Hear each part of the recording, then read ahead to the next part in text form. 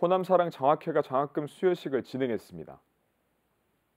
호남사랑 장학회는 12일 광주 서부교육지원청 대회의실에서 지난 2021년 장학금 수여식을 열고 호남 지역 출신 또는 학생 24명에게 장학금을 전달했습니다. 한편 호남사랑 장학회는 공익법인의 설립 운영에 관한 법률에 따라서 호남 출신 또는 호남에 거주하는 학생들에게 장학금을 전달해 오고 있습니다.